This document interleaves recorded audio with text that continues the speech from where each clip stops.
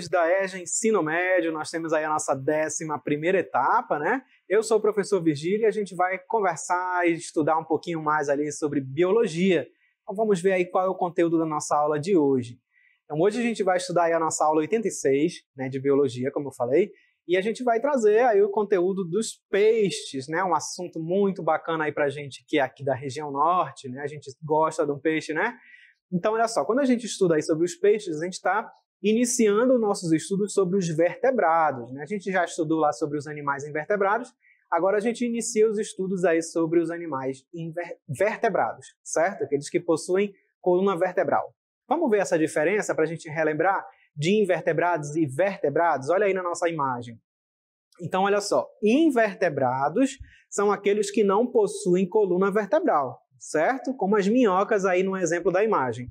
Já os vertebrados são aqueles que possuem coluna vertebral, seja ela óssea ou cartilaginosa ou mista, né? Das duas, é, seja tanto óssea quanto cartilaginosa, como por exemplo, um, do vertebrado nós temos aí o gato aí na imagem, certo?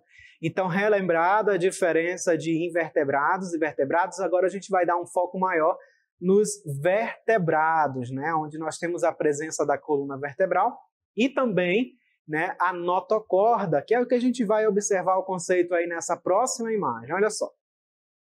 A notocorda é um bastão cilíndrico e maciço constituído por células e substância gelatinosa.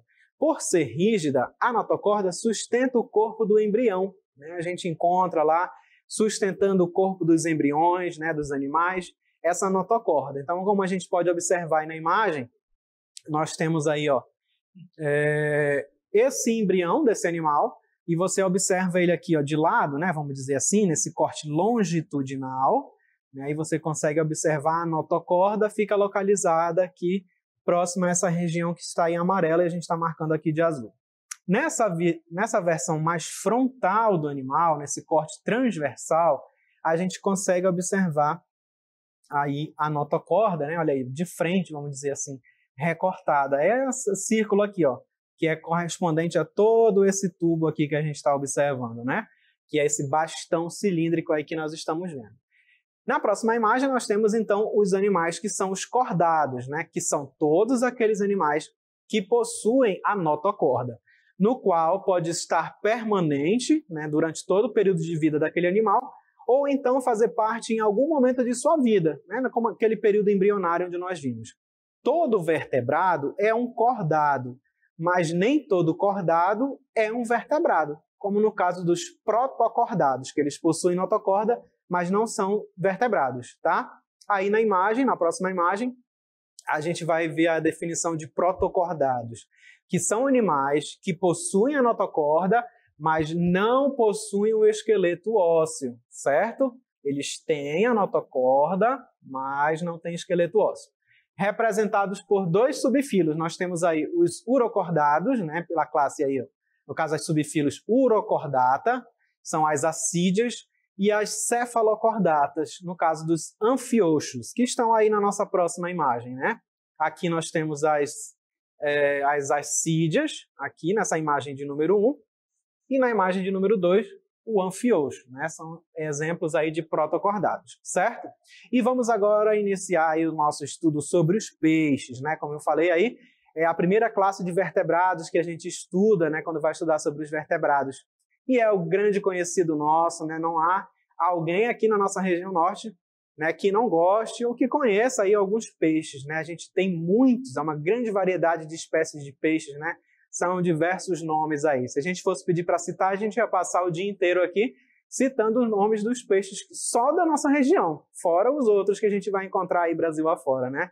Vamos ver aí um pouco mais sobre os peixes na próxima imagem.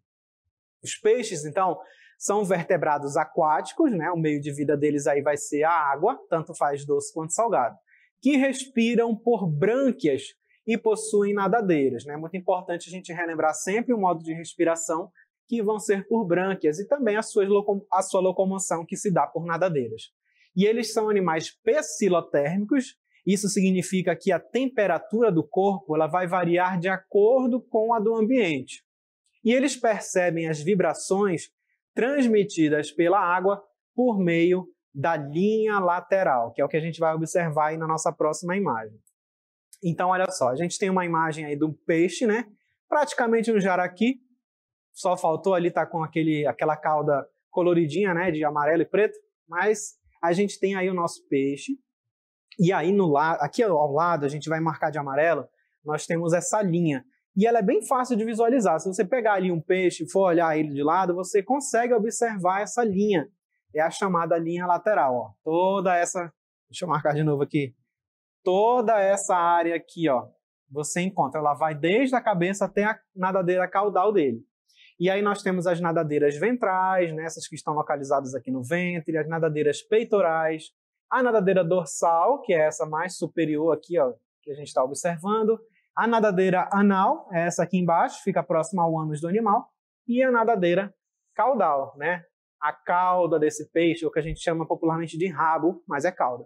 Então, olha aí, essa linha lateral, como a gente observou, ela tem essa capacidade, ela vai funcionar ali como um órgão sensorial para o peixe. Né? O peixe, se ele tiver, ele está ali nadando e ele vai perceber as vibrações da água. Pode ser que esteja se aproximando um predador desse peixe, um animal que vai se alimentar dele. Então ele vai perceber aquela movimentação ali na água através dessa linha lateral, certo? Vamos ver aí mais características gerais dos peixes. Olha lá. Ah, o órgão, é, na verdade, o coração né, desses peixes, eles vão ser divididos ali em duas cavidades, um átrio e um ventrículo. Eles possuem, né, alguns deles possuem a bexiga natatória, que é um órgão em forma de bolsa e vai ser preenchido por um gás e faz com que esse peixe suba ou desça. Né? Se ele quiser subir para a superfície, ele se enche de gás. Se ele quiser descer lá para o fundo do rio, ele vai secar, né? ele vai retirar esse gás. Né? Sistema nervoso deles é formado por encéfalo como órgão central, a linha lateral que nós acabamos de comentar, né, que, que é sensível a vibrações, e a excreção dele vai ser em forma de amônia, certo? Com base na presença ou ausência de maxilas, a gente vai poder classificar esses peixes em agnatos e gnatostomados. Os agnatos, eles não possuem maxilas, tá?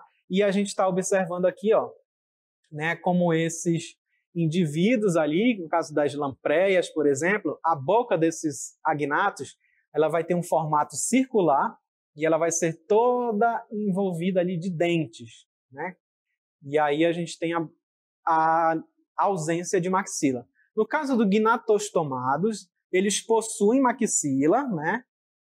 E a maioria dos peixes existentes é gnatostomada. A maioria dos peixes que nós conhecemos são gnatostomadas, como esse tambaqui que a gente está vendo aqui na imagem.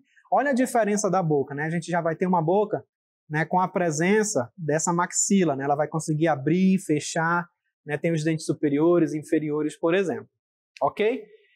Aí na próxima imagem a gente vai ver como a gente vai dividir os gnatostomados, né? Que são representados por dois grupos. Nós temos aí os condríctes, olha lá, condrictes são dotados de esqueleto cartilaginoso, tá? São é, peixes ali que não têm esqueleto ósseo, eles têm um esqueleto formado por cartilagem. E como exemplo, nós temos os tubarões e as arraias, né? Tubarão vai ser muito difícil da gente encontrar aqui na nossa região, mas arraia a gente encontra. E nós temos os osteictes, como o nome já diz aí, ó, ósteo, né? São dotados de esqueleto ósseo. Como, por exemplo, o nosso conhecido tucunaré, que é um peixe de água doce, é um osteíctio, é formado ali por é, o seu esqueleto ósseo. E aí, como nós falamos anteriormente, a gente vai ter ali uma grande diversidade de peixes né, aqui na nossa região. A gente vai ter ali a gente vai ter ali uma grande diversidade, como nós falamos. E olha só, olha só que interessante. A gente tem aí a piranara, por exemplo. Né? A piranara que é uma conhecida de muita gente, e é um peixe, né? Como a gente sabe, ah, peixe a gente já pensa logo em escama. Mas a pirarara, ela vai ter ali o seu corpo, ó, ela é formada por um, uma espécie de um couro. Aqui nós já temos o pirarucu. Né? O pirarucu é um dos maiores peixes ali de água doce, né? Muito apreciado ali na culinária, como nós vimos. Tucunaré também, né? Ó, tem esse formato ali, esse aspecto todo pintadinho, tem uma espécie de uma rodinha colorida na sua cauda, né? E a piranha, que é temida aí por muita gente por ser carnívora, né? Mas não todas, né? Algumas espécies ali são carnívoras. Ela não precisa ter medo, porque ela só vai né, atacar algumas pessoas se ela sentir aquele cheirinho ali de sangue. No caso, se a pessoa entrar na água com uma ferida aberta, por exemplo. E aí nós falamos então dos peixes ósseos, né, que são os osteíctes, aí eles estão passando novamente, que são justamente aqueles que têm um esqueleto ósseo, tá? Independente se eles têm escamas ou couro, mas o seu esqueleto lá vai ser ósseo, certo? Agora a gente vai ver outras características, né, outras diferenças ali desses peixes, por exemplo. Agora a gente vai ter ali diferenças ali de osteíctes e condrictes. Os condrictes, né, como o tubarão, por exemplo, são peixes que possuem esqueleto cartilaginoso. E aí, o que, que a gente vai ter diferente no seu revestimento? As escamas deles elas já vão ser formadas por um material mais rígido e em formato ali placoide. Elas vão formar umas placas, como a gente está vendo nessa imagem. E elas ainda vão, ainda vão ter uma espécie de uma ponta, como a gente está vendo aqui, ó, que é formada ali por dentina, né? o mesmo material que forma o nosso dente. Então elas têm esse aspecto aqui, como a gente está observando. A boca dos tubarões ela vai ser localizada aqui embaixo, ó. ela vai ser nessa porção ventral, não é frontal como no caso do tucunaré, né? Ela vai ser mais aqui embaixo. E aí na próxima imagem, olha que, olha que curioso, que a gente está vendo aqui nesse detalhe é a sequência de peixes ali, de peixes não, de dentes do tubarão o tubarão ele vai apresentar ali várias fileiras de peixe, porque como ele é um predador, né, ele tá, vai estar sempre caçando ali o seu alimento, nisso ele vai perdendo alguns dentes. E ele já vai ter outros dentes ali na sequência para repor, substituir aquele dente que ele perdeu. Então você observa aqui, ó, uma, duas, três fileiras já de dentes para fazer essa substituição, tá? E aí na outra imagem a gente observa o nosso famoso osteict, né? Aqui é como se a gente estivesse vendo aqui um, tucuna, um, um tambaqui por dentro, né? com as suas espinhas, que é o que é, o certo é a gente falar osso, tá? São os ossos ali desse peixe, todo o seu sistema aí, como a gente pode observar, ok? Vamos ver as principais diferenças aí na próxima imagem, olha só. Ah, eles vão apresentar, então, o seu esqueleto. No caso, os condrictes têm um esqueleto cartilaginoso, os osteictes, esqueleto ósseo. A respiração, né, no caso, as brânquias, as brânquias dos condrictes, elas vão é, ser sem opérculo, e no caso dos osteictes, os osteictes, elas têm o opérculo, que é justamente essa é como se fosse ali aquele papo ali, aquela bochecha lá do peixe, por exemplo. Ah, quando a gente vai comprar um peixe, a gente observa justamente aquela parte ali, que é o que a gente conhece popularmente como guelra. Né? Mas o nome certo, o nome científico, são as brânquias. Então, o peixe, principalmente os peixes ósseos, eles vão ter bem aqui, ó, próximo aqui da cabeça, né? Nessa região da cabeça, os opérculos, que aí você levanta e vê se ele está fresco, né? Se o peixe está fresco. Se estiver bem vermelhinho, aquela guelra, que são as brânquias, as pessoas sabem que eles é, foram pescados recentemente. E aí, então, continuando nessa imagem, a gente vê mais informações ali. A boca dos condrictes, no caso dos tubarões, elas são na posição ventral, que fica ali embaixo do corpo, dos peixes ósseos, né, dos osteíctes, elas são na, na região frontal. Reprodução dos condrictes se dá pela forma de clasper, ela acontece de forma interna. Nos osteíctes, a fecundação ela é externa. A fêmea vai liberar os ovos ali na água e o macho né, vai fazer liberar os seus gametas e fazer essa fecundação que é externa. Desenvolvimento dos condrictes ele é direto, dos osteíctes é indireto. Eles vão formar uma espécie de uma larva né, do seu filhotinho ali, que são os alevinos. As escamas. As escamas, então, dos condrictes é de formato placoide, como nós já vimos, dos osteíctes é de forma dérmica. A cloaca, né, os condrictes não possuem, os, os osteíctes possuem. Bexiga natatória, que é aquela que vai ajudar o peixe a subir e descer ali na água. Condrictes não tem, e os osteíctes Sim, excreção dos condrictes vai ser na forma de ureia e dos osteíctes na forma de amônia. As classes dos, as classes dos condrictes, né, como nós vamos observar aí na próxima imagem, olha só, os representantes são tubarões, as arraias, as quimeras. A maioria deles é predadora, mas nem sempre são predadores ativos, né, como o tubarão-baleia. As arraias têm o corpo achatado e as nadadeiras peitorais expandidas, passam a maior parte do tempo no fundo arenoso ou lodoso. As quimeras diferem dos demais condrictes por terem as brânquias cobertas por opérculos, certo? Então, mais informações aí sobre é, os peixes, né, tanto ósseos quanto o... Agora são os peixes ósseos que a gente vai observar. Vimos aí condrictes, agora vamos ver sobre os peixes ósseos na próxima imagem. Olha lá. Representam mais de 95% das espécies de, peixes viventes, né? São bastante espécies de peixes presença de bexiga natatória e opérculo protegendo as aberturas das brânquias, são divididos em duas classes, actinopterígios e sarcopterígios. Os sarcopterígios a gente vai ver aí na próxima imagem, olha lá. Sarcopterígio, né? Grupo com nadadeiras carnosas e um suporte ósseo. E eles apresentam como representante os peixes pulmonados e os celacantos, também chamados aí ó, de pinóicos. Acredita-se que esse grupo é ancestral dos vertebrados terrestres, como exemplo a piramboia. Né? E aí na próxima imagem nós temos os actinopterídeos, que apresentam por características por característica principal as nadadeiras sustentadas por raios, né? as nadadeiras raiadas. A maioria de seus representantes é ovípara e suas larvas, um pouco semelhantes aos adultos, são chamados de alevinos. E acontece um período ali no, para os peixes, né, que a gente também é é, conhece bastante, que é aquele período da piracema, né, que está relacionado com a reprodução deles. Observa aí a nossa próxima imagem. A piracema, então, é o momento, aliás, é o movimento dos cardumes de peixe que nadam rio acima contra a correnteza para realizar a desova no período de reprodução. Né? E tem gente que gosta de aproveitar esse momento para pescar ali os peixes, mas é um período muito importante para eles se reproduzirem. Tentem evitar essa pesca na piracema ok? Agora nós vamos praticar um pouquinho aí na nossa DLI.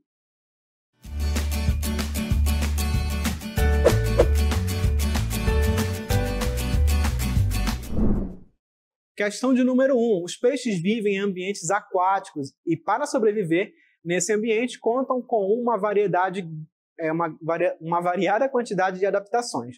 Uma dessas adaptações é a bexiga natatória, que possui como função, vocês vão, vocês vão ler aí as alternativas, ver onde está a função da bexiga natatória e marcar a correta. Na questão de número 2, né, nós temos aí uma professora que resolveu aplicar uma prova prática sobre o conteúdo de peixes. Leiam a questão com calma, né? aí os alunos concluíram que se tratava de um peixe ósseo após observarem qual característica. Vocês vão marcar aí qual a característica relacionada, certo? estão aí nas nossas alternativas. Então, boa atividade para vocês e já já a gente retorna para interagir.